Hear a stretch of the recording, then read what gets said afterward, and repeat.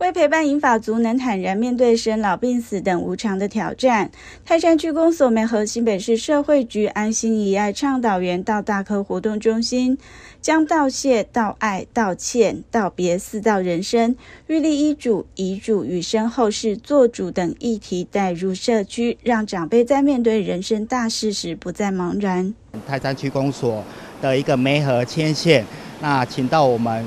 啊。专业的讲师吴学梅老师来呃帮我们上了这个晚年人生我做主的一个呃课程。讲师也提醒长者们，做陪伴者要先照顾好自己，才有办法陪伴病人。尤其在面对病人临终时，要如何给予支持力量，同时调试好自己。这一次的课程可以让长辈好，不仅可以了解如何来照顾自己。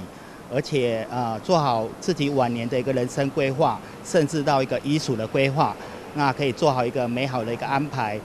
社区理事长很感谢新北市社会局关注到晚年人生的议题，透过倡导员培训及巡回讲座，让高龄者共同探讨及认识生命的全貌，可以坦然面对自己的未来，营造友善高龄的社会文化。记者胡宇轩泰山采访报道。